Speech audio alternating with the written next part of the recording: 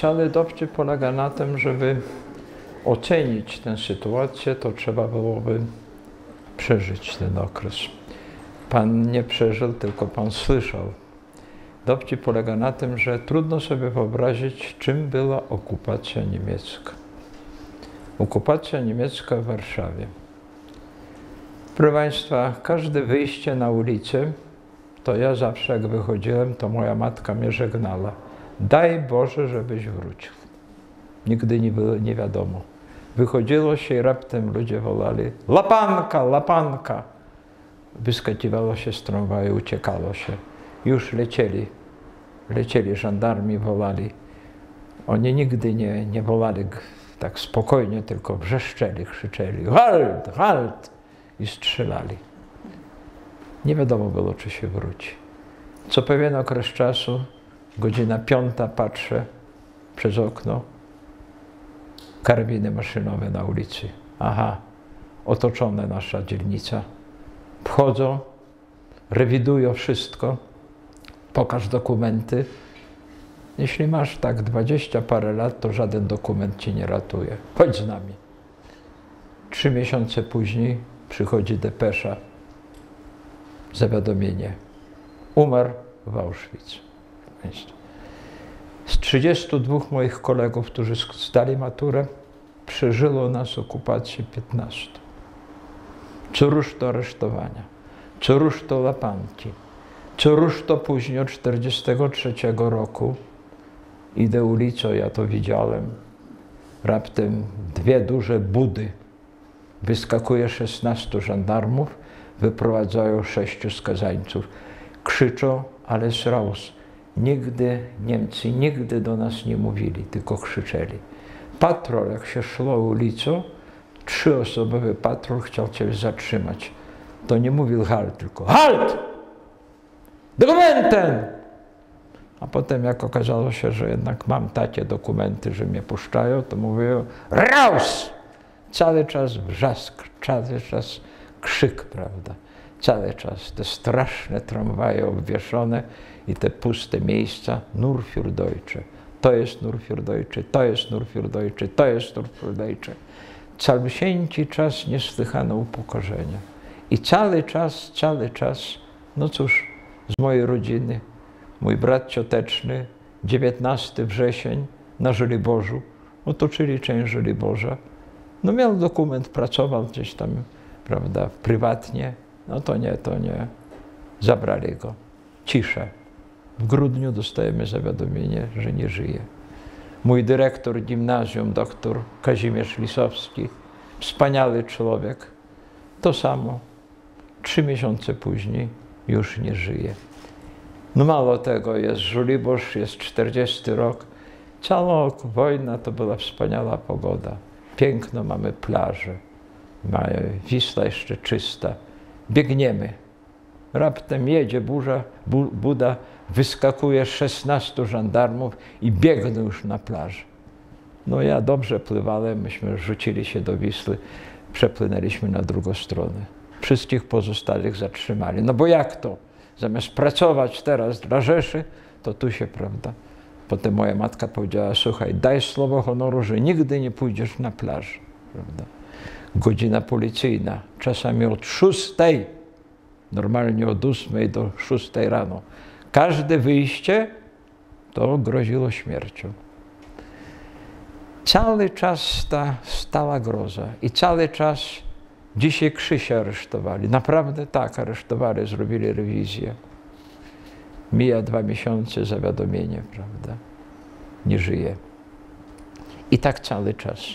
Jednocześnie bida straszna, szalona trudność, e, żywność. Nie wolno było przywozić mięsa. No przecież były te przypadki, że za przywożenia mięsa w pociągu zastrzelono, prawda? Ten incydent 19 grudzień do tej chwili, pamiętam 1940 rok, jadę tramwajem z Żoliborza do, mieszkałem na Żoliborzu, tramwaj zatrzymuje się nad dworcem gdańskim na wiadukcie, i widzę, z jednej strony idzie oficer niemiecki. Elegancki, ci oficerowie byli przystojni, wysocy, elegancy, w pięknych mundurach. I z drugiej strony idzie taki pijaczek taki, widać, że pod gazem jakiś tak się trochę tam kiwa i idzie naprzeciwko, tak się uśmiecha do niego, podnosi rękę i mówi, ha, ha, haj Hitler, haj Hitler. Wyciąga pistolet, ciach, leży. Ja byłem w ten czas przy motorniczym, bo jeszcze tramwaje były kierowane przez motorniczych. Ja mówię, no ruszamy. On mówi, proszę pana, nie mam sił, nie mam sił. Pan widzi? On go zabił. Tak wyglądała, proszę pana. Każdy kontakt z Niemcami to był wrzask, to był krzyk. Cały czas nie wiadomo było, czy się przeżyje, czy się nie przeżyje, prawda? Ja przeżyłem trzy takie rewizje u siebie w domu, tragiczne. Cudem uratowałem się, naprawdę cudem. No, całe szczęście, że moja matka studiowała w Curychu, w Szwajcarii po, po, po niemiecku, więc mówiła perfekt po niemiecku i to, to stwarzało jakąś taką sytuację, bo od razu pytali się, czy ty jesteś Niemka, prawda? Mówiła świetnie po niemiecku. To stwarzało już jakąś atmosferę. Ale sposób, każde wejście, prawda? Każda rewizja, to wszystko razem cały czas nam to groziło. I w związku z tym nasza postawa była taka marzenie. No kiedyś do cholery ciężkiej przyjdzie ten czas, że ja będę do ciebie strzelał, że przeżyję to, co ja przeżyłem. Wziąłem 14 jeńców. Wpadłem do pokoju, byłych 14, ja z pistoletem maszynowym mi się zaciął. I jak krzyczę do nich, Hände! Alles Hände hoch! Wszyscy ręce podnoszą do góry, alles raus! Miałem największą satysfakcję, że wreszcie Pan tego nie zrozumie. Wy, wy wszyscy Państwo, którzy się nie przeżyli, tego nie rozumiecie. Oni zniszczyli naszą młodość.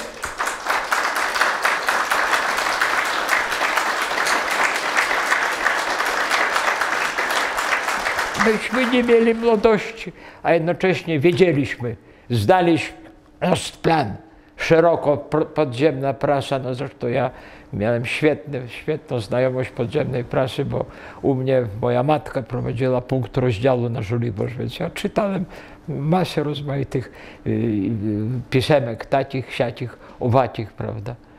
No przecież były no, przeraźliwe, prawda, informacje, co się dzieje na terenie, co się dzieje, prawda. No przecież to wszystko razem stworzą, stworzyli, ja przez pięć lat, od 17 do 22 roku życia, pięć razy, pięć razy tylko bawiłem się, tańczyłem, bo można było się zabawić tylko już po godzinie policyjnej. A tutaj na przykład myśmy całe, na, w naszym domu to wszyscy mówili, broń Boże, nie róbcie zabawy w nocy. Idzie patrol, słyszy, że tam jest jakaś muzyka, okno zasłonięte. Zaraz wpadają. Widzą młodych, młodzież, dawaj, dawaj, dawaj od razu. Potem okazuje się, że jeden na szczęście, bo wysłali go na roboty. Ale drugi jest Sachsenhausen, a trzeci jest w Auschwitz, a czwarty jest tam gdzieś indziej. Taka była rzeczywistość i tutaj, proszę Pana, mówienie takie, że nas nastawiono na, na, na, na, na powstanie, to jest zawracanie głowy. Niemcy stworzyli to, że myśmy cały czas marzyli o tym. Marzyliśmy o tym, myśmy mieli zupełnie inną postawę. Tak właśnie myśleli, jak Pan mówi, myśleli żyć. A no, przeżyjemy, siedźmy spokojnie, cichutko, prawda, ten, prawda, to kierownictwo żydowskie tam pod, podporządkowało się, robiło listy tego, cicho, spokojnie, a my, to my mamy zupełnie inną naturę. I po to, żeby to zrozumieć, że myśmy chcieli walczyć, że myśmy się chcieli zemścić, że myśmy chcieli odzyskać wolność, to było to nie było kierowane, to nie było wcale, prawda, nie było, nie było dowództwo nasze wojskowe. To my sami, myśmy marzyli cały czas o tym, żeby się odbić.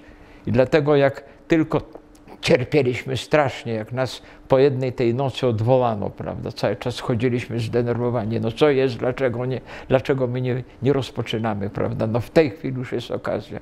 Trzeba uświadomić sobie podłość niemiecką to wszystko, co oni robili. Myśmy to wszystko wiedzieli, prawda? Moja, moja rodzina, ta moja rodzina, która była na zachodzie pod Gostoninem, zginęła po prostu. Do tego stopnia, no mój kuzyn popełnił nawet samobójstwo po to, żeby nie, żeby, żeby, żeby nie, jak go przed, uciekł w ten sposób przed aresztowaniem w ostatniej chwili, prawda? I dlatego, proszę pana, w tej chwili ci wszyscy ludzie, dlatego ja w ogóle twierdzę, że o okupacji, o powstaniu powinni pisać ludzie, którzy to przeżyli. Dlatego, że to była podłość tak okropna, że nie można jej tutaj zrozumieć przez ludzi, którzy tego nie przeżyli.